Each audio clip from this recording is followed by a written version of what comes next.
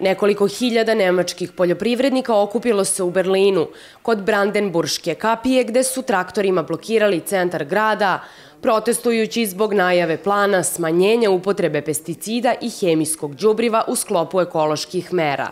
Poljoprivrednici traže ponovno razmatranje plana zaštite insekata, koji je početkom septembra predstavila vlada kancelarke Angele Merkel. Plan koji je nastao kao kompromis između Ministarstva životne sredine i poljoprivrede predviđa zabranu upotrebe glifosata do 2023. godine.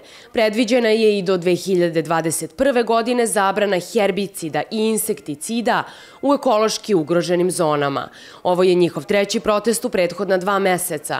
Poljoprivrednici smatraju da političari ne obraćaju dovoljno pažnje na ekološka pitanja i da novi zakoni o ekologiji ugrožavaju njihovu bezbednost, rad i mogućnost zarade.